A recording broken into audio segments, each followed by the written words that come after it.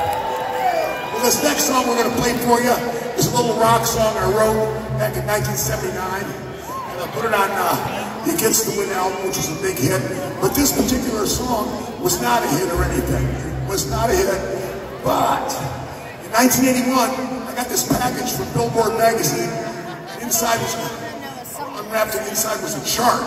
And the chart said, uh, most played songs of 1980. Number one, the most played song of 1980 was this song, All Formats. That includes all formats, all of them. Turn the page, it baby. Yeah. Turn the page, baby.